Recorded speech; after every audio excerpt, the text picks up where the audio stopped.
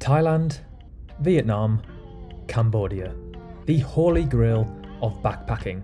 These three amazing countries are usually the stepping stones for those seeking adventure travel. All three are fun, cheap, and as crazy as each other. They offer everything from street food to epic parties and fascinating culture.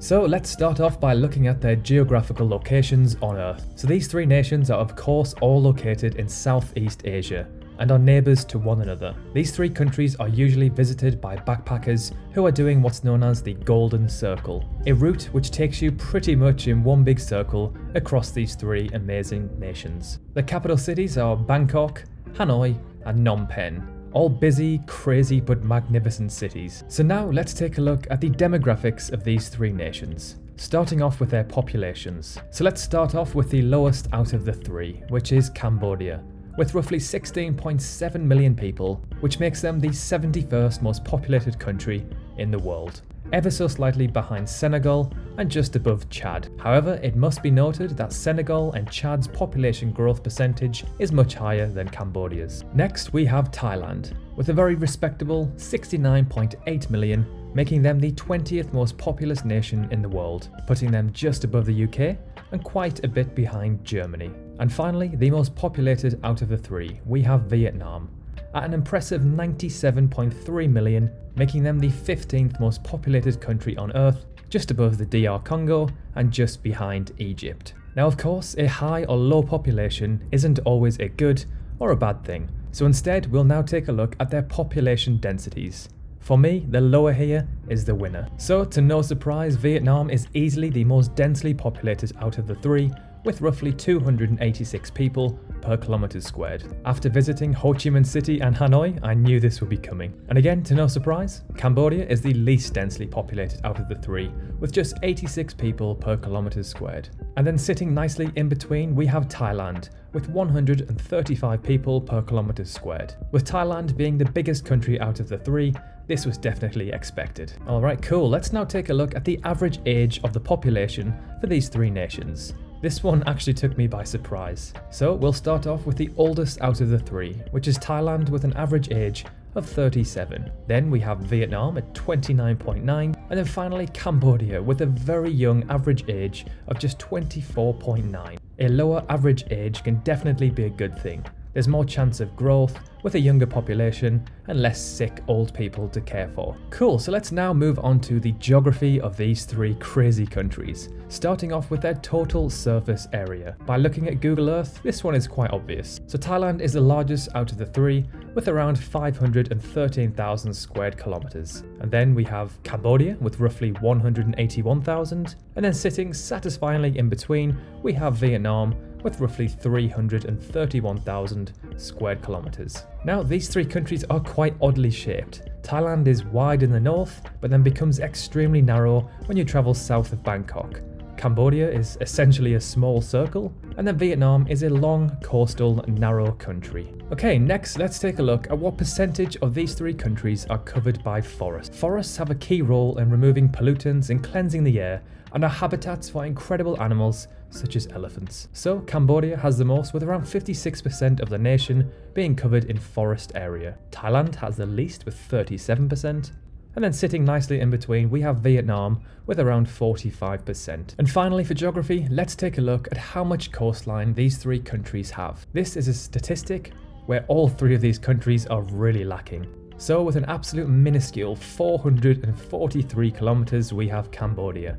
Only the south of the country is exposed to the Gulf of Thailand. Next, we have Thailand with roughly 3,200 kilometers, and then finally Vietnam with just slightly more at 3,400 kilometers. South of Bangkok, Thailand is actually really narrow and only the east of the country is exposed to the coastline. On the west, it's actually Myanmar. Alright, let's now move on to some statistics and facts about their economies. Starting off with their GDP, the gross domestic product. This reflects the value and productivity of an economy. It measures the market value of all the final goods and services produced annually. So starting off with the lowest out of the three, as expected, we have Cambodia. With a small population, small land size and waterways, it's no surprise that their GDP comes in at only 26 billion US dollars. Next we have Vietnam with roughly 340 billion, putting them at 37th highest in the world. And then finally, the highest out of the three, Thailand with roughly half a trillion, making them the 25th richest country in the world. Whilst we're talking about GDP,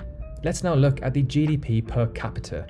So this is calculated by dividing the total GDP by the population of the country. So Cambodia of course has the least with roughly 4,300 US dollars per person, followed by Vietnam with roughly 8,000 and then Thailand with around $20,500 per person. And finally for economy, let's finish off on a high note for Cambodia. So out of the three, Cambodia actually has the highest GDP growth rate at 6.9%. Then just ever so slightly behind, we have Vietnam with 6.8%, which is likely due to the boom in tourism over the last decade or so.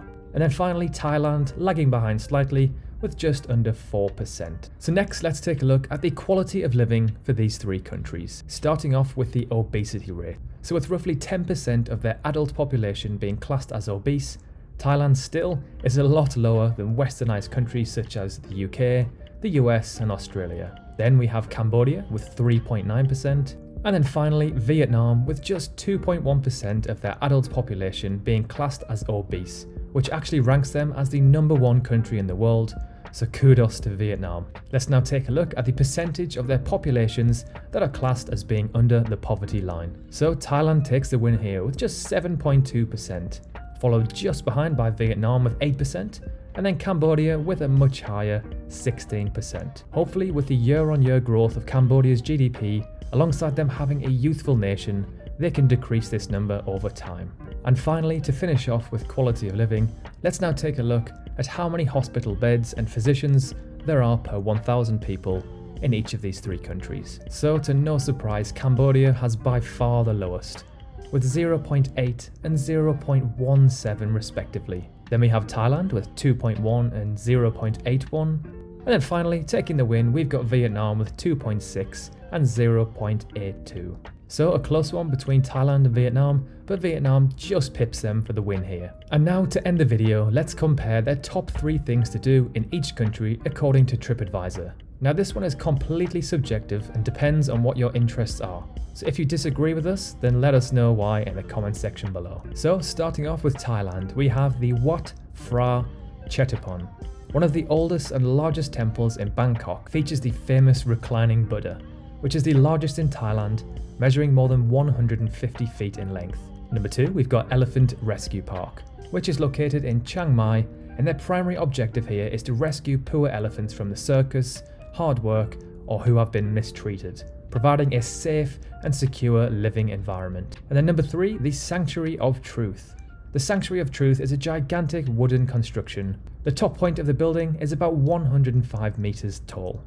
So next, let's look at Vietnam. So number one is the Cu Chi Tunnels. The tunnels of Cu Chi are an immense network of connecting tunnels located in Ho Chi Minh City and are part of a much larger network of tunnels that underlie much of the country. Number two, the Old Quarters.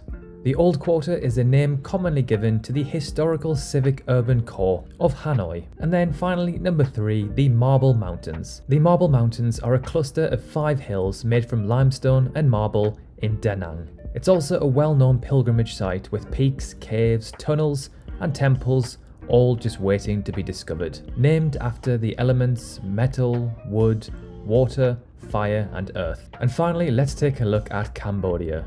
So number one, this one was pretty obvious, Angkor Wat. Angkor Wat is a temple complex in Cambodia and the largest religious monument in the world by land area, with its site measuring an incredible 162 hectares. Number two, the Tuol Sleng Genocide Museum. And finally, number three, Otres Beach. So personally speaking, I think Thailand's top three attractions, according to travelers on TripAdvisor, take the win here. What do you think? Let us know below. So now it's your turn. Let us know in the comment section below which one you'd live in, which one you'd visit, and which one you'd avoid and why. We can't wait to read your comments. And while you're there, let us know which cities or countries we should do next. So I would personally live in Thailand because it's one of my favourite countries on earth. There's amazing parties, elephants, friendly people, and it's cheap but it's not run down. I'd visit Cambodia because I've never been there before, and I'd have to avoid Vietnam because I've already visited there before. However, I would love to go back. So, thank you so much for watching. If you enjoyed the video, a like would be much appreciated, and if you loved the video, a sub to the channel would be marvellous. Thank you so much for watching, and we'll see you in the next one.